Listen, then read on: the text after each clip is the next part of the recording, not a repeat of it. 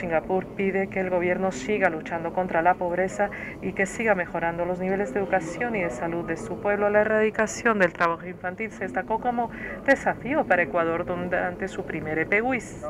Señalamos que se ha avanzado muchísimo. El trabajo infantil ha reducido sobremanera un 50% de 2007 a 2011. En particular, el gobierno ha con éxito puesto fin al uso del trabajo infantil en los vertederos. Singapur recomienda que Ecuador siga adelante con sus esfuerzos para erradicar el trabajo infantil y siga reforzando la protección de los derechos del niño. Ah, nos unimos a los muchos amigos de Ecuador para desearles lo mejor.